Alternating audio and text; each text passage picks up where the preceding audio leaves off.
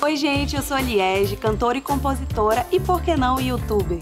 Sejam bem-vindos a este canal e ao Influências, que tem a honra de trazer uma pessoa que é apaixonada pela escrita desde a infância e por todas as artes. Se tornou cantora, compositora, radialista, lançou dois singles, faz parte de um coletivo incrível dessa cidade, que é o Coletivo Parquet, e eu tenho a honra de trazer para vocês Ana Clara.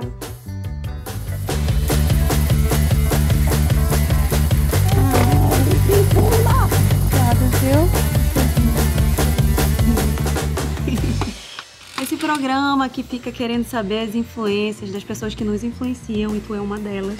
Quer saber de ti quais foram as tuas primeiras influências, tuas primeiras memórias musicais, assim? Sim, em termos de influência, eu tenho muita dificuldade de dizer o que é, porque eu sempre ouvi muito MPB em casa. Uhum. Depois da minha adolescência, tive um momento do rock mesmo, de atrás e Tu lembra de nomes assim que tu ouvia e que, sei lá, de alguma maneira marcaram pra ti? Olha, a, toda a formação básica de MPB na minha casa quando era criança e tal. E depois de ir atrás na discoteca do meu pai, de descobrir coisas, tipo Mutantes, Novos Baianos, que se tornaram influências muito fortes, assim, Sim. pra mim. Mas assim, quando eu penso em influências, ah, o que te influencia, sei lá, a escrita sempre foi muito presente. Veio primeiro, né? A escrita veio primeiro. Eu Uhum. sou uma leitora voraz.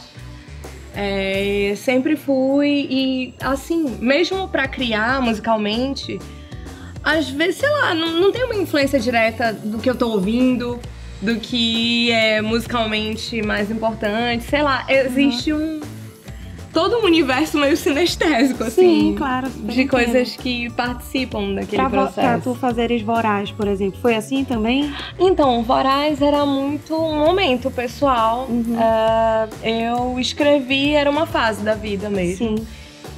E eu coloquei aquilo pra fora e mandei pra Samlis, porque eu achava que tinha muito a ver. A gente tem uma afinidade muito grande, Sim. eu e a Samlis, a gente é muito amiga. E a gente tem uma afinidade pra compor. Maravilha. E aí mandei, tipo, é, vou mandar isso pra Samlis. E fluiu muito rápido. Que incrível. cara. E ela complementou e tal. Era um momento da vida. Eu não consigo te dizer, ah, o que influenciou, não. Era É a eu. tua própria vida. Era né? eu. E tu vai lançar coisas novas agora. Eu tô trabalhando algumas músicas, tipo, arranjando coisas que estavam na gaveta. Uhum. Eu acho que o projeto mais imediato é gravar com o Meio Amargo, do Lucas Uhum. Padilha. A gente tem também uma afinidade muito grande, tem muitas coisas na gaveta. E o plano é fazer um disco disso. Que então, legal, acho que a coisa mais cara. próxima é fazer pelo menos um single. Nossa, registrar Novo. isso vai ser bem bacana, né? É. E aí eu te pergunto também, tu és uma entusiasta da música, para além de cantora, compositora. Pra ti, quem são as influências, as boas influências da atualidade pra essa galera que tá chegando hoje? Cara, eu. Eu tenho um vínculo muito grande com o que acontece aqui. Sim. É, eu me alimento muito em termos de atualidade com o que rola aqui. A Marisa Brito Hum, é incrível, eu acho que Vocês têm é... composição juntas A gente compõe junto também, mas tipo, isso é uma honra pra mim, um detalhe, Sim. porque eu acho que ela é incrível no que ela É, faz, de pop, né? de técnica vocal. Ela já me dirigiu também. Ah, ela também. é, Beijo, Marisa. A gente Marisa te é ama pra incrível. caramba. Tu é incrível. Tu, né? Mas acho que é feio ficar Ah. falando. Olha, como eu admiro minha amiga. A gente tem umas amigas tão talentosas, Amiga, né? feio é a gente dizer que admira quem a gente não admira. É, não, mas assim, a gente tem uma cena tão efervescente aqui. Eu sempre faço questão de falar do quanto as mulheres estão sendo tão especiais aqui. Sim. Tu, Lívia, Ellie, Versos Polares, tanta coisa acontecendo. né? Thaís. Sim. É, de repente aparece um monte de coisa. A própria Samlis com o trabalho Sim. próprio dela. Sei lá, como existe uma consistência, porque não é simplesmente, ah, existem aqui uns trabalhos, mas assim, ter uma, uma base naquilo, Uhum. ter uma competência, ter uma forma. E a gente tem bandas também com mulheres encabeçando, novas, né? Sim, é a verdade. Guedelha com Cinza, o Noturna, Noturna. o Infinóis. Não, lindo, Nossa, eu adoro. Cara, a gente é foda. É, eu acho o cenário daqui, em termos de, ah, ir atrás de coisa nova. Caramba, aqui a gente tem todos os estilos, cara, todos os gêneros, é, sei eu lá. acho uma pena que o Brasil não conheça tudo isso, né? Uhum. Eu acho que muitas vezes o que acaba vazando muito pra fora é o nosso é, regionalismo, que é muito forte a nossa ancestralidade, a nossa conexão com o nosso lugar. Que é incrível também, que tem um apelo pop que é foda. Sim, mas a gente precisa lembrar que tem a cena do rock, que tem a cena do metal, que tem a cena do hardcore, que tem a cena do indie, que tem a cena... Porra, tem muita coisa sendo produzida Cara, nessa cidade. Dois na né? janela, né? Mobile Lunar, numa, num viés mais pop rock, assim. O Helder é, F. O, não, o Helder não tem nem Lari Xavier. Lari Xavier gente, é um primor, gente. A gente vai passar o resto dessa madrugada fazer um listão aqui. Falando dessa galera maravilhosa que a gente tem aqui. Poxa, Ana, que incrível tu citares isso como influência, porque pra mim...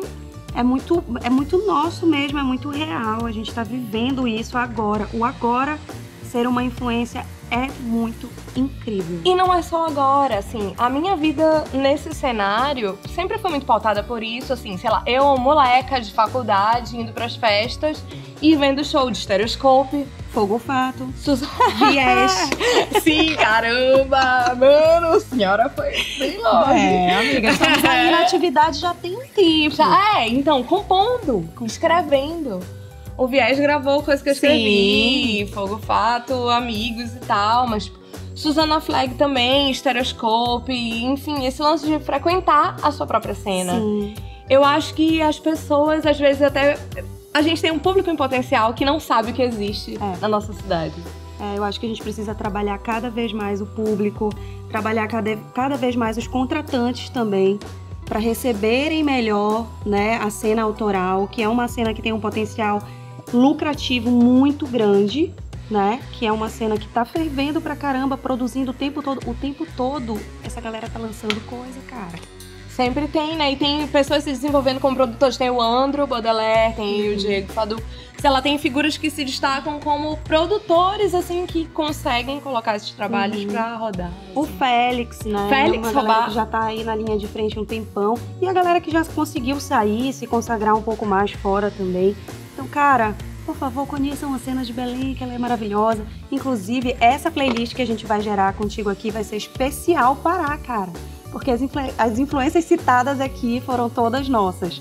Eu pedi para tu trazeres um objeto que representa as tuas influências, assim, que é especial para ti. Qual foi ele? Fala para mim. Então, eu, como eu te falei, né, tinha esse movimento da literatura. Sim. Na verdade, eu fiquei na dúvida. Caramba, quando eu comecei, eu tenho muita dificuldade de dizer, ah, tal coisa me influencia, porque uhum. é tanta coisa. Sim.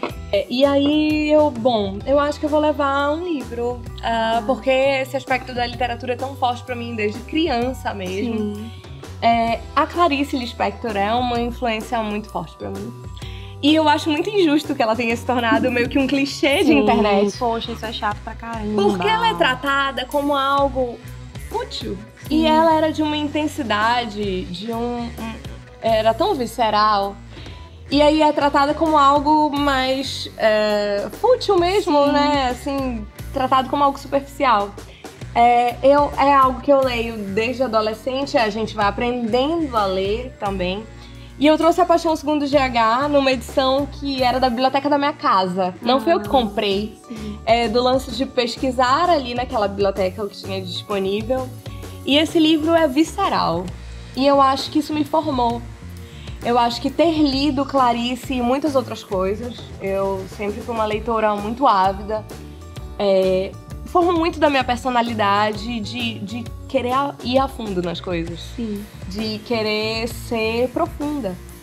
De querer viver a verdade. Não importa se muita gente vai gostar. É, é algo de sentir. E ser real, e ser sincero, e ser honesto consigo. E conhecer a si mesmo e, e em busca dos seus defeitos, das suas qualidades, dos seus sentimentos mais animais até às vezes, enfim. E a entrega fica verdadeira, né? É isso. Eu acho que eu tenho essa inocência ainda, assim. Não, amiga, você tem essa virtude. Isso é maravilhoso e a gente perde isso com o tempo. Inclusive, é um puta gatilho para esse programa, porque a minha, o meu desejo com influências é que a gente resgate isso. A primeira pergunta é sempre qual é a tua primeira memória da infância. Isso tem um porquê porque a gente se constrói a partir, as nossas influências vão mudando o tempo todo, a gente, mas está tudo ali muito conectado, muito amarradinho. E o que a gente entrega, tudo isso que tu acabaste de falar, é real quando a gente está conectado com isso. Então, o Influências, ele quer mostrar para as pessoas que gostam do nosso trabalho, que curtem a gente, da onde que a gente veio, qual é a nossa origem, por que, que a gente é o que a gente é. E é muito lindo saber quem tu és. Eu já fazia um tempo que eu queria te trazer aqui, porque eu Cara. sei que tu és grandiosa, gigantesca, eu te respeito, te admiro como compositora, como cantora, como tudo.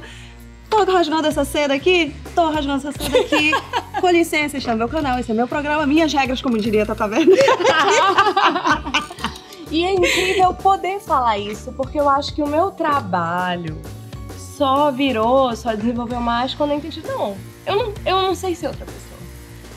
Eu sou tímida, eu sou introspectiva, e aí eu, não, eu vou fazer assim. E como tá imposto pra gente que é cantora, que é artista, que a gente tem que ter um tempo, a gente tem um prazo de validade, né? Quando eu digo eu tenho 31 anos, mas por que só agora que tu tá cuidando da tua carreira, querendo uma carreira maior, querendo gravar um disco, querendo não sei o quê? Porque é um processo, gente. Quem dera a gente tivesse cada um. Quem dera. Não, vou, re, vou refazer essa frase, né? Ainda bem que não viemos todos ensacadinhos num pacotinho escrito essa daqui vai ser isso, essa daqui vai ser aquilo. A gente é uma eterna construção a partir das nossas influências. Tu concordas? O que eu tenho a dizer se eu não for a Ana Clara, que foi construída a partir de todo esse processo de não fazer questão de me enquadrar ali numa situação, eu, eu não teria um trabalho se eu não aceitasse quem eu sou. Eu acho que as coisas só fluem quando a gente compreende isso. O que eu quero fazer? Por que, que eu quero fazer isso? Quem eu quero ser como artista? Que imagem que eu quero compor, etc. A gente sabe que tem mil variáveis nisso Sim. e que é muito difícil se consolidar profissionalmente nesse cenário que a gente tá, mas assim, é, não tem uma regra pré-estabelecida para isso e Cada não um tem ser... a sua trajetória, né? O seu caminho. Cada né? um tem seu caminho e não ser verdadeiro, acho que pode ser um grande tiro no pé. Ah, a gente, uma hora essa conta chega. Uma não hora... façam isso em casa, crianças, não vale a pena. Uma hora essa conta chega de caramba, por que eu tô fazendo isso? Ah, sim. Por que, que eu tô fazendo isso?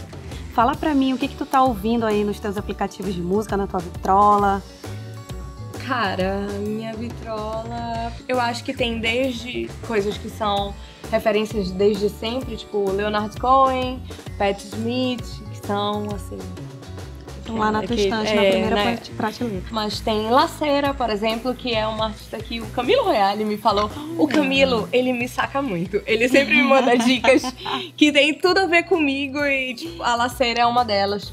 Feist é uma cantora que eu amo, que é mais próxima da gente, da nossa geração, assim. E coisas atuais, como eu falei antes, é a gente. Porque tem muita coisa incrível sendo feita aqui. Então, Marisa, Liege, Lívia, é, enfim, Sammy, Liz. E aí, Dois na Janela, Mobile Lunar, Meio Amargo, Jack Nilsson, enfim, nós. As nossas coisas são tão ricas e conversam tanto com a gente. Verdade. E assim, existe música pop de qualidade feita aqui que fala universalmente. Vamos lá conhecer essa cena e para te ajudar, eu vou deixar uma playlist exclusiva com todas essas referências e influências que a Ana Clara citou aqui. Não te esquece de te inscrever no canal, ativar o sininho das notificações para não perder nada, comentar aqui, dizer quais são as tuas influências, compartilhar esse vídeo sem moderação nenhuma e até a próxima. Obrigada. Obrigada, meu bem.